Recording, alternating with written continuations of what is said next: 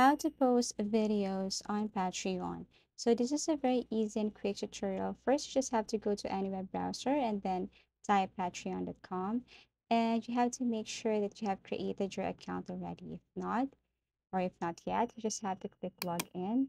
And then here you can create your account using Google Web Browser, Google account. You can use your Facebook if you want, okay? And then click your Google account and then click confirm.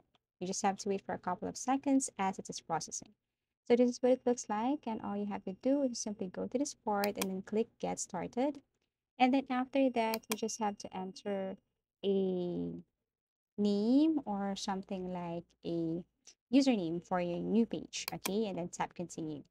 And then here, you just have to click connect, okay? Especially for your YouTube. And then kindly look for the account that you want to connect to your YouTube click confirm and then wait for a couple of seconds.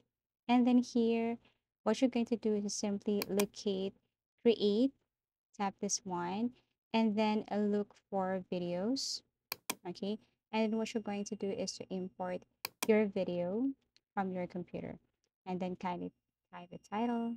Okay. You can insert URL, attachment, tags, okay, and so on. Once done, all you have to do is to click publish now. You can also click delete or disregard if you want, or you can tap this one. It's. Thank you so much for watching and see you again in our next videos.